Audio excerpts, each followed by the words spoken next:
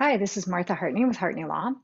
Today we are going to have a brief lesson on how to maintain your LLC in Colorado with a Colorado Secretary of State's office. Now, I don't ordinarily maintain my clients' LLCs for them because it would cost you too much to have me do it, and you can do it yourself very inexpensively and easily. So this video will show you how. The first thing is you may get some official notices about your uh, renewal period approaching.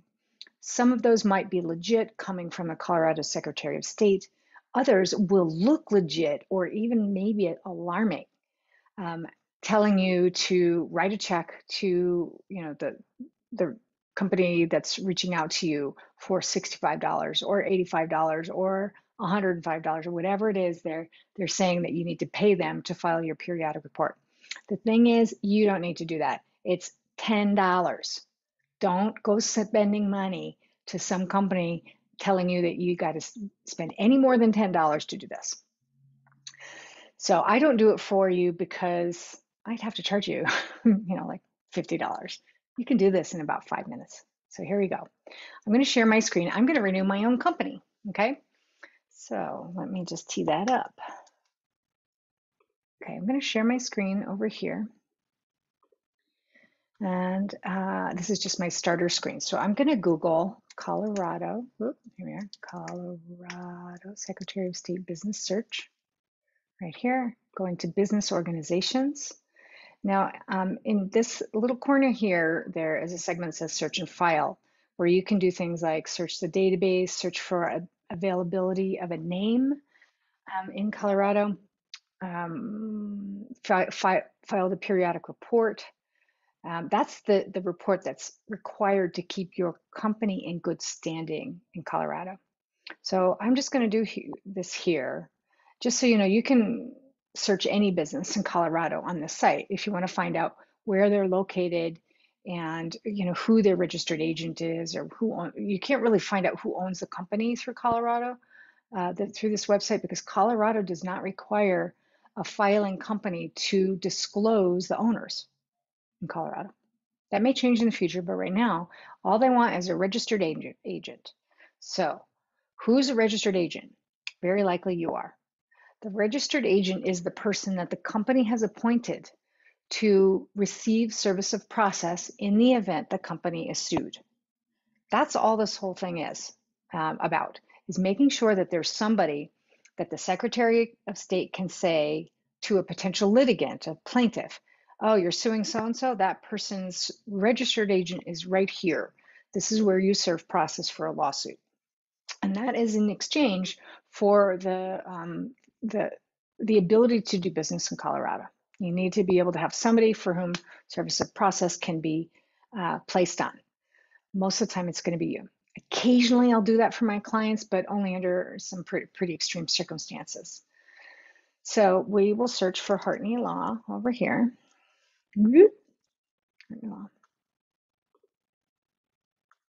All right, so I originally had titled my com company Hartney Family and Estate Law, and then I just switched it to Hartney Law a couple years later. So um, this is the company that I want, and we're going to drill down into Hartney Law.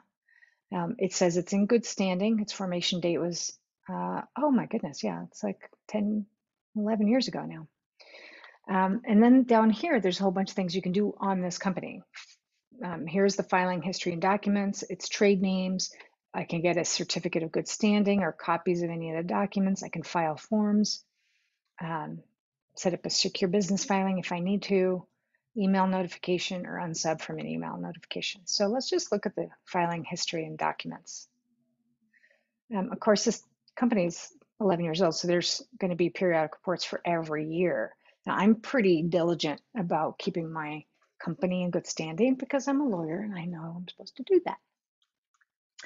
All right, so this is um, the first nine. There's two pages of records here. So we're going to go to the next nine because that's where the periodic report uh, notice is located. So right here it says periodic report due, periodic report due by August.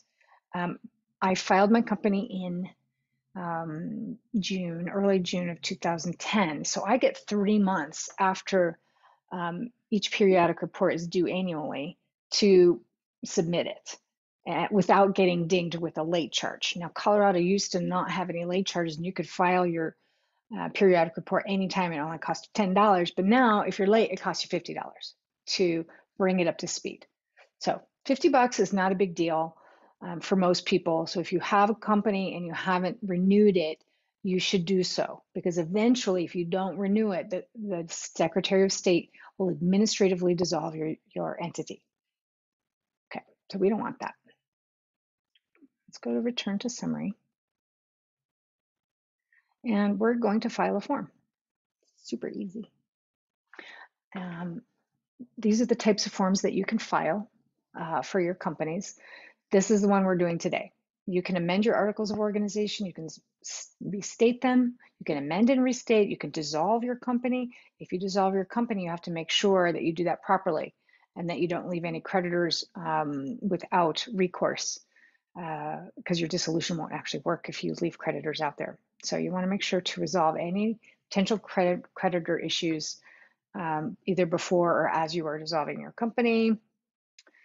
Um, convert to another form or entity, state a trade name, you know, that's a doing business as a DBA. You can do trade uh, corrections and changes. So we're going to just file this periodic report. Now the uh, view, viewing screen that brings up is what I last filed. Now nothing in my document is really going to change because I haven't moved anywhere. And you all know who I am so I and where I am, so I don't mind you seeing this. So this is my street address for my company. If I had a different mailing address, I'd put it here. Now, who's the registered agent? Well, I am for my company right here. And where do I want that service process to go? If I were going to get sued, I want to go to this office. Um, I could put a different mailing address, but the street address, that's where you want um, your service process to go. Now, there are some people like if if you have a company in you know, like Wyoming or another state, you may have hired a registered agent in that state to receive service of process for you. So sometimes you'll have a big business organization name in here. Um, you know, like in Wyoming, I think I use Frontier Registered Agent Services. So I would put their name in there in, in a Wyoming filing. So email notification, I'm going to put my email notification in here. And then I'm going to uh, check down here. This is the name of the individual causing the document to be delivered. So if I do a filing for a client, I would have my name in here. Um, I, I have my name in here because I'm filing on my own company. So you may have someone else file it for you, or you may be filing it yourself, put that person's name there. That's what that means. Okay. Um, I don't have any other documents that I want to file with this very rarely would I want to file any any documents. I definitely don't want to file my article or my uh, shareholder agreement or my operating agreement. There is no need to do that. Um, so I don't suggest it unless there's some reason that you need to do that. Okay, so submit.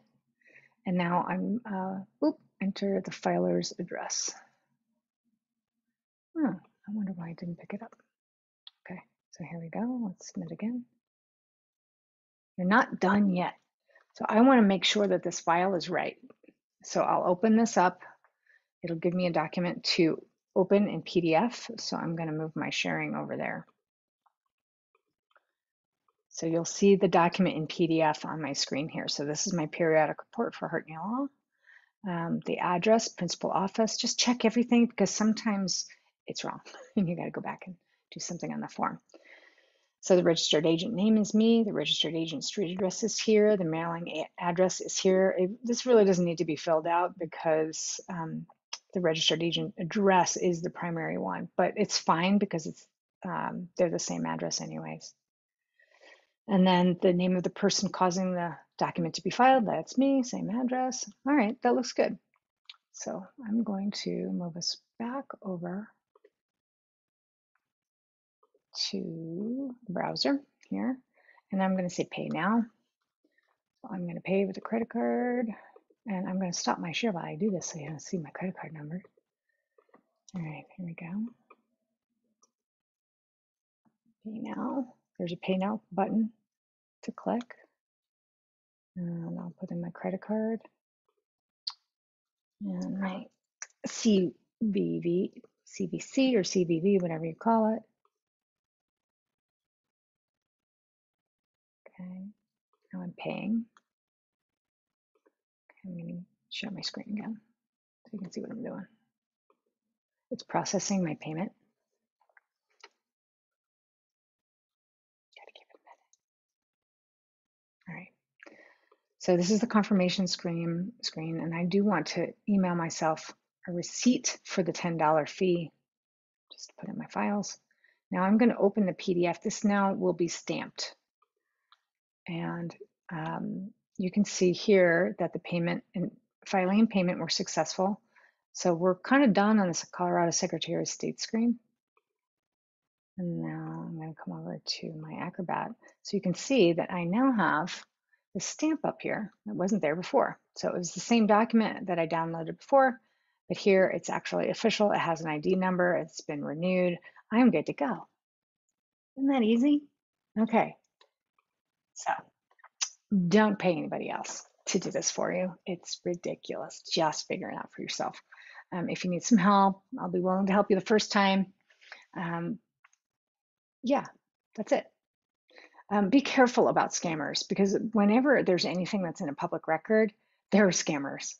For instance, um, when I file deeds with the, with the counties to transfer a home from a person's own name into their trust name, that person is almost always going to get a notice that says that they need a, an official copy of their deed and to you know send us a check and we'll you know so that you get that deed. Like as if it's some mandatory thing. It's totally not. I'll get you any deed in boulder county for 250 $2.50 so don't fall prey to these things and don't let them alarm you. Just investigate um, reach out to me if you need any help trying to identify something that is a scam versus something that's legit. Help me to do that with you. Okay